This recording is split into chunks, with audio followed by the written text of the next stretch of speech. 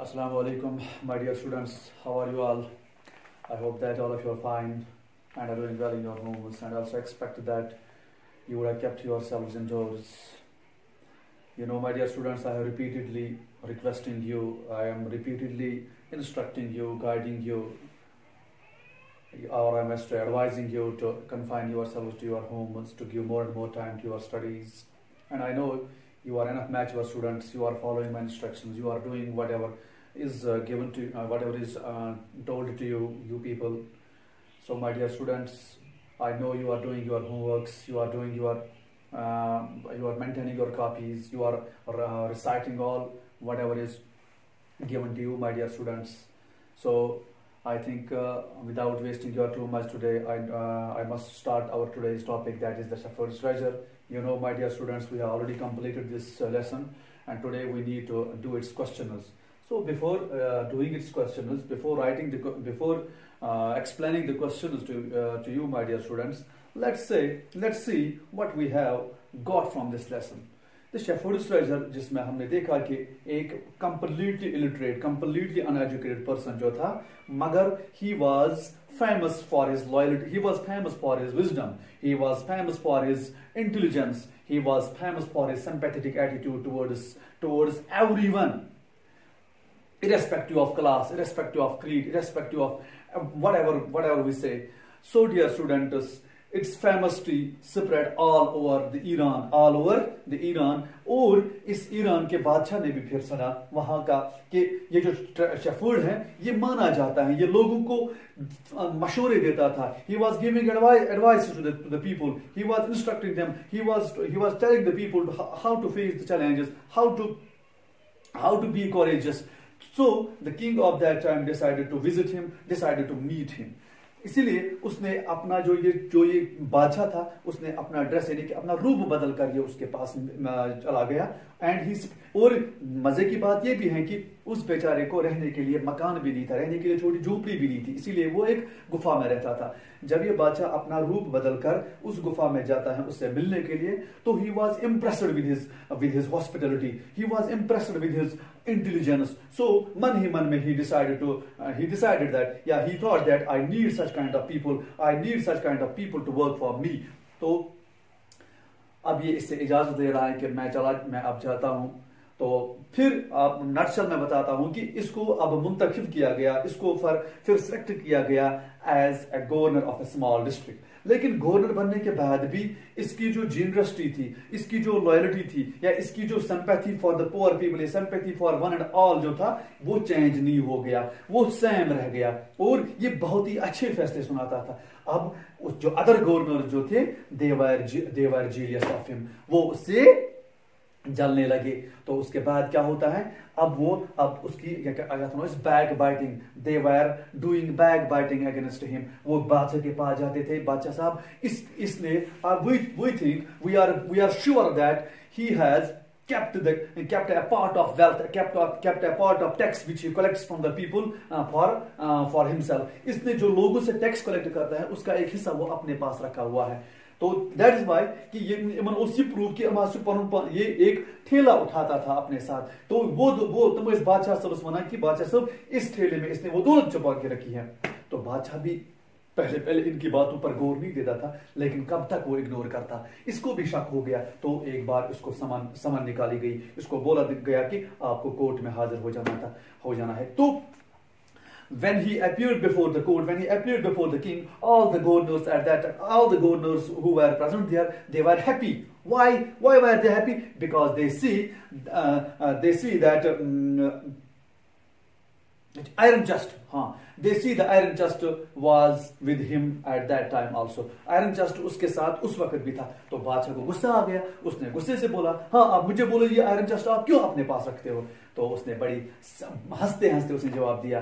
तो उसने ये बोला कि अपने नौकर को बोला चलो लाओ ये आयरन आयरन चेस्ट यहाँ पर लाओ। और जब ये खोला गया there was only a old only an old blank blanket in the iron chest तो ये जब हो गया जब ये देखा तो सब बादशाह परेशान हो गया। बादशाह ने बोला, आप तो इतने इतने अच्छे पोस्ट पर हो। You are a governor of a small district why are you carrying such an old blanket with you तो वहाँ से उसका रिप्लाई आ गया बादशाह साहब this old blanket is my oldest friend ये मेरी सबसे पुरानी फ्रेंड है। And will protect me if at any time your majesty decided to remove me या रिमूव माई क्लॉक्स आप अगर कभी भी ये चाहोगे कि मुझसे, मुझे यहाँ से निकालना तो उस टाइम मेरी यही फ्रेंड है, मेरी, मेरा यही सहारा है।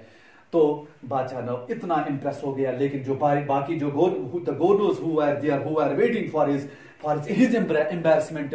तो on the other hand, या in return, they were embarrassed. वो embarrassed हो गए, और वो जलील हो गए, और their heads were down, उनका सर नीचे हो गया, और उनको भी पता चला, नहीं, ये सबसे ईमानदार, ये सबसे हम्बल पर्सन है हमारे इस लैंड का। He is the most humble person in the in our land तो बादशाह ने डिसाइड किया कि इसको मैं एक बड़े डिस्ट्रिक्ट का गवर्नर बना देता हूँ। ये है ईमानदारी, ये है सिंपलिसिटी ये है कि पान पान अपना गुजरा हुआ कल याद रहना चाहिए और सेम यही हो गया इस शेफर्ड के साथ। लेकिन दूसरी बात हाँ no doubt he was uneducated he was illiterate लेकिन उसकी जीनियसिटी ने सॉरी उसके उसकी इस जहानत ने उसकी इस उस विजडम ने उससे शेपर्ड से कहाँ से कहाँ तक पहुँचा दिया, एक गवर्नर बना दिया। फिर उसका जो हम्बल नेचर था, उसकी जो सैंपैथी सैंपैथी थी, या उसका जो लॉयल्टी थी अपने जॉब की ओर तो फिर वो एक बड़े डिस्ट्रिक्ट का भी गवर्नर बन गए यानी this prove the fact that we need to be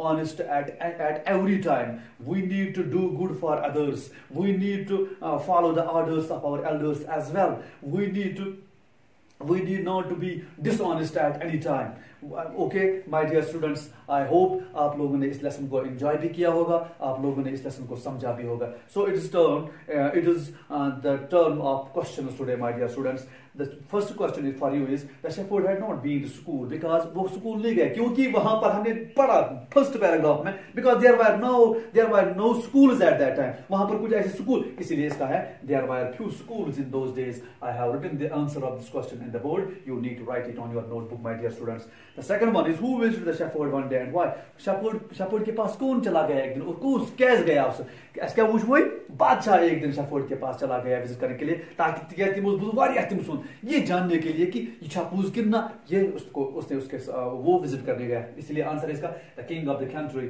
visited the shepherd because he was famous for his wisdom and friendly nature. The king heard about him and thought of it's thought, my dear students मैंने दो लिखा है and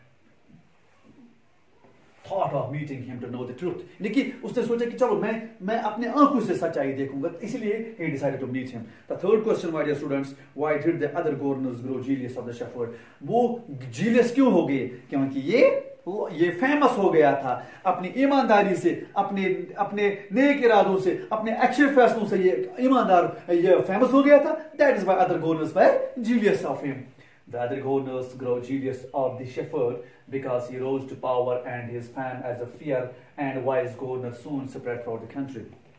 Another one is why was the new governor और उसको फिर महल में इसको फिर बादशाह ने क्यों बुलाया क्योंकि उसको यह साबित करना था why did he carry iron chest with him all the time क्योंकि बिकॉज अदर या हम ये भी कह सकते गवर्नर्स ने उन, उन, उन, उनको कहा था गवर्नर्स ने बादशाह को कहा था कि नहीं there is something he is hiding some some part of treasure some part of tax which he collects from the people in his iron chest that is why he was summoned to the court that new governor was called to the palace because he used to carry an iron chest with him all the time and the king wanted to know the, sec, uh, uh, secret of that chest उसके बाद है why was everyone delighted to see दो बाकी जब ये जब कहना कि जब ये कोर्ट में हाजिर हो गया तो सारे क्यों खुश हो गए क्योंकि देवर एक्सपेक्टिंग तमनसी उम्मीद की अब आज ये जलील हो जाएगा अब आज इसको बाहर फेंका जाएगा आज इसकी असलियत पता चलेगी लेकिन the answer. Everyone was ready to see that just on the camel's back, uh, back because the other governors were sure that he collected all the, his treasure in his iron chest.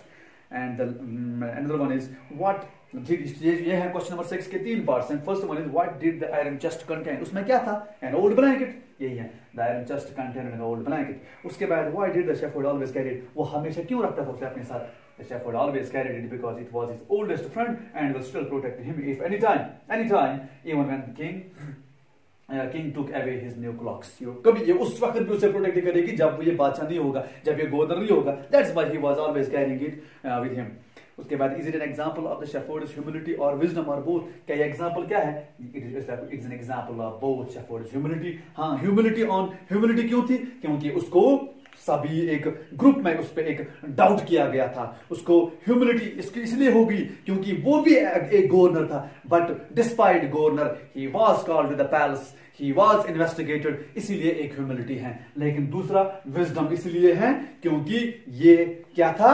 ये ईमानदार था humble था, इतना कुछ होने के बावजूद भी क्या?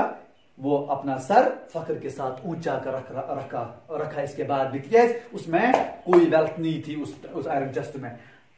तो उसके बाद लास्ट क्वेश्चन है how did the king reward the new governor उसने कैसे उसको इनाम दिया? The king rewarded him by making by by making him the governor of a much bigger district much bigger district का गवर्नर ये इसको एक इनाम मिल गया। These by it's question my dear students इसके बाद हमारा लैंग्वेज वर्क है उसके बाद हमारा ग्रामर वर्क है। इंशाल्लाह वो भी हो जाएगा। बट आज के लिए I think it's enough for you और दूसरी बात आई नो कि ये जो नेटवर्क इशू है, इसकी वजह से वीडियो क्वालिटी हमारी उतनी नहीं फास्ट नहीं, उतनी अच्छी नहीं होगी कि आप इन, इस बोर्ड पर क्लियरली क्वेश्चन लिख सकते हो। दैट्स वाई कि मैं डिसाइड किया है कि, मैंने डिसाइड किया है कि इसका फोटोग्राफ उठाया जाए और फिर मैं आपको ग्रुप में सेंड भी करता हूँ। You need to copy these question my dear students तो कल हम दूसरे टॉपिक के साथ मिलेंगे, तब तक के लिए you need to take care of yourself you need to take care of your family members as well you need to follow the instructions of administration, you need to confine yourself to your studies, to your homes. That is why we have repeatedly telling you और वही एक ज़रिया भी है my dear students और अल्लाह से दुआ गो कीजिए, अल्लाह से दुआ गो रही है हमें इस वबा से छुटकारा मिले, हमें अल्लाह अल्लाह दोबारा मिलने का फिर हमें मौका मिले, सुकून में बाहर, हम हँसी, हमारी ज़िंदगी में हँसी जो है, खुशी जो है, वो दोबारा खिले। माय डियर स्टूडेंट्स अपना ख्याल रखिए, अपने घर, अपने घरों में रहिए, और हमें भी अपनी दुआ में याद रखिए। कल फिर से मुलाकात होगी, तब तक के लिए खुदा हाफिज़ फिया 嗯。